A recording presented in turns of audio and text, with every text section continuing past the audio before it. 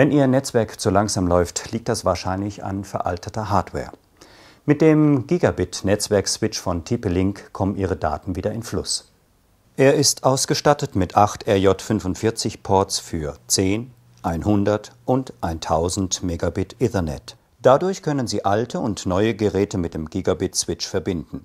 Insgesamt verbessert sich die Reaktionszeit des Netzes, weil alle Geräte mit dem jeweils optimalen Speed unterwegs sind. An den grünen Status-LEDs sehen Sie, mit welcher Geschwindigkeit die Daten übertragen werden. Der höhere Durchsatz macht auch die Datensicherung auf Nasslaufwerken viel schneller und komfortabler. Mithilfe der vorgefertigten Halterungen können Sie den Switch problemlos an der Wand befestigen. Der Gigabit-Switch von TP-Link macht Ihrem Netzwerk Beine.